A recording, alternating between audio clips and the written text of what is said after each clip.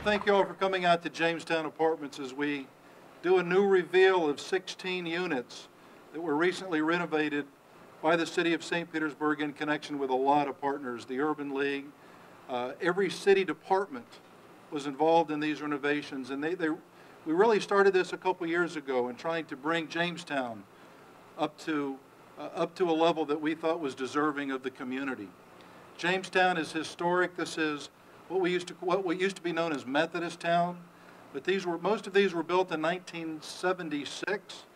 And a couple years ago, we kind of discovered that they needed a lot of work, really to bring it up to market standards.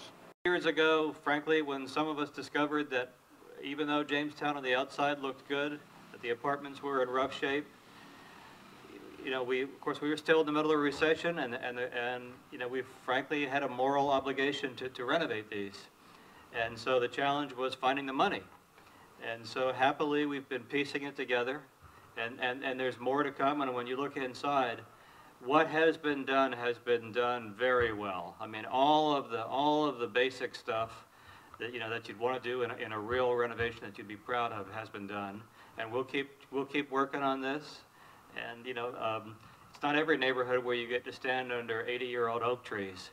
And, and it's, I mean, it's, it's really a beautiful, comfortable neighborhood. Ready? One, two, three. Three. All right, we're in.